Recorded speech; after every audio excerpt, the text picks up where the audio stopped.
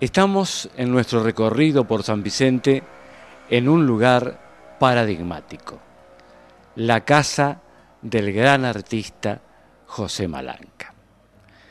José Malanca fue un genuino hijo de San Vicente. Nació aquí, en San Vicente, muy cerca de esta casa, en Ambrosio Funes, 1350, parte de esa casa natal aún se conserva, en el año 1897 y fallecería en 1967 allá en uno de sus recorridos por el interior en un desolado pueblecito de La Rioja llamado Angulos. Malanca es sin duda una de las figuras más representativas en el arte pictórico, no solamente de Córdoba, sino del país entero. Y su vocación fue América. Su esposa, Blanca del Prado, a quien conoció en Arequipa, en Perú, en uno de sus poemas, porque era una gran poetisa, decía de Malanca, todos los puntos cardinales de tu corazón apuntan a tu América.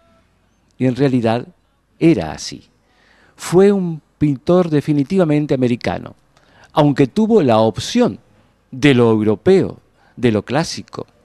Pasó tres años becados entre 1923 y 1926 en Europa, junto a Francisco Vidal, junto a Héctor Badaza, junto a Pedone, en una experiencia eh, inolvidable para todos.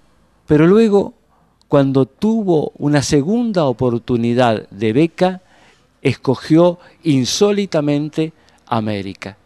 Y así fue a recorrer los caminos de Bolivia, de Paraguay, de México y sobre todo de Perú.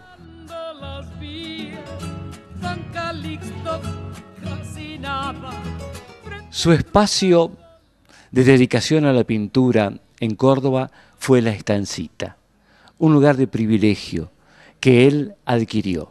Y allí pintó, pintó todo lo que la naturaleza le sugería, y con colores propios, colores malanquianos, digamos, porque tenía una susceptibilidad especialísima para escoger la luminosidad y los colores.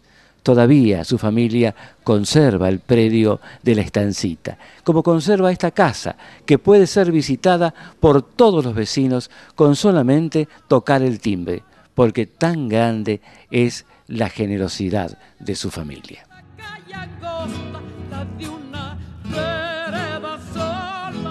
José Malanca es un autor para cautivarnos y seguramente tendremos que volver a José Malanca.